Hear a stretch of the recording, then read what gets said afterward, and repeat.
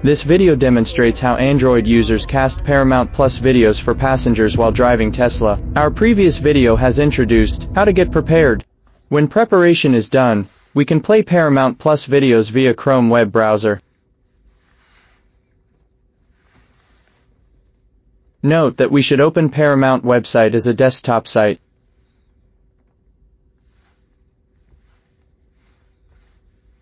Choose the video we want to play.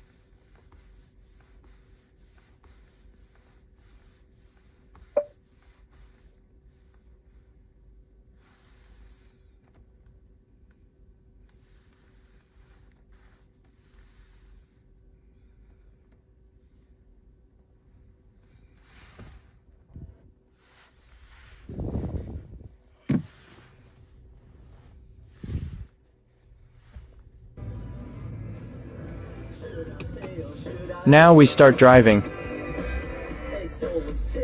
As what you have seen, Tesla Display app can cast Paramount Plus videos for passengers while you are driving Tesla. If you like this app, you can download the app in Google Play